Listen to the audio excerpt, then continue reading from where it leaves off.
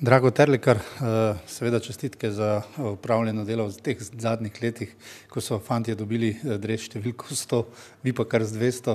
To pomeni, da ste eh, po večini še za polovico več časa poleg pri hokejski reprezentanci.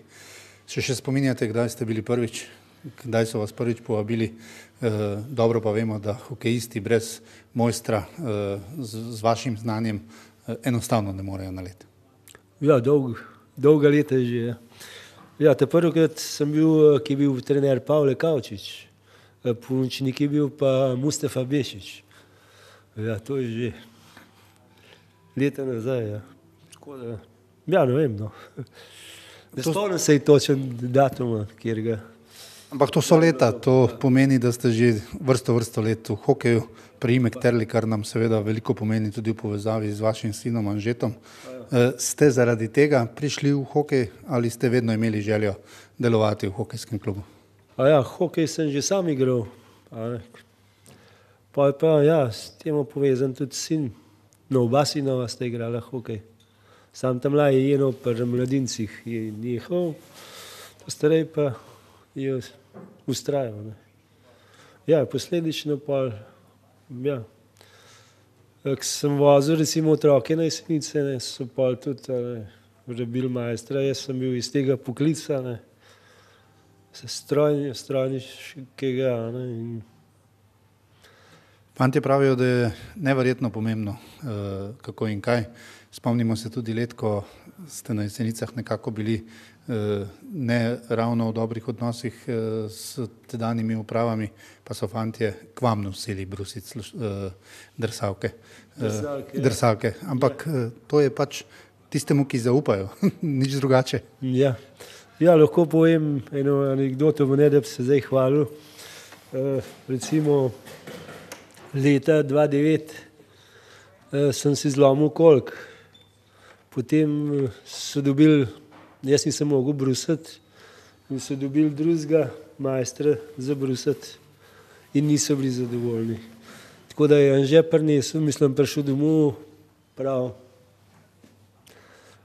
fotora, na brusu drsalke, ker gor ni v redu, pa sem jaz zberglan šel v klet, pa stavil na en nog, recimo dve ure, pa to sam tako malo prslovem, da sem jih na jih je pripeljal s hokejsko boršo. Upam, da se to ni ponavljalo iz dneva v dan, kaj ti ja. kolk, vaš kolk je ja. bolj pomemben kot pa drsalke, ampak ja. to priča o tem, uh, o, to, o tem zaupanju. Uh, to delo, to, ta povezanost majstra in seveda igralcev, to je in v klubu in v reprezentanci zelo pomembno. Dobesedno, brez vas ni nič. Ja, težko mislim.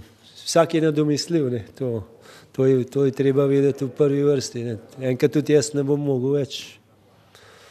Uh, tako da mogo en drug. Vse se učijo mladi, recimo bitežniki iz Anžetovih let, ne, sta skupaj igrala zdaj pred dvajsetici, uči se in mislim, da bo on potem moj naslednik. Zelo lepo, torej naslednika ste si našli, ja. uh, ampak uh, tudi res številko 300 se najverjetneje še pričakuje. Čili ste, zdravi ste, skrbite zase, skoraj da tako kot uh, uh, hokejisti.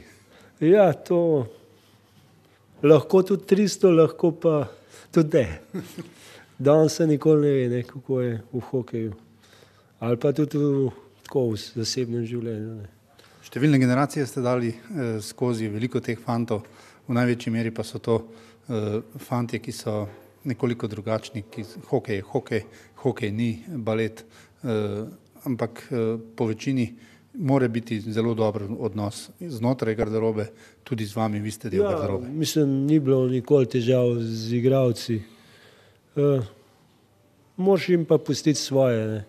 Uh, Moraš se, bom rekel, osredotočiti v del, ne. mislim, to, kar delaš, ne v, v ostale stvari, recimo osebne ali karkoli.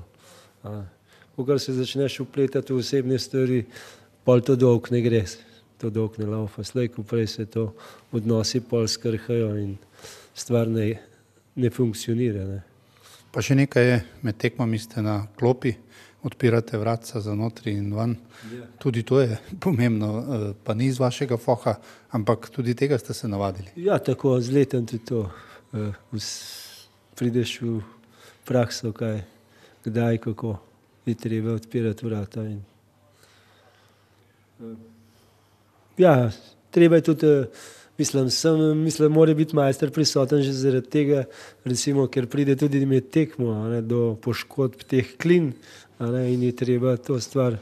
Zdaj, če je manjša stvar, eh, se sanira na klopi, če je večja stvar, je treba dati drsalko dol in iti na stroj, nabrusiti pa nazaj prinesti.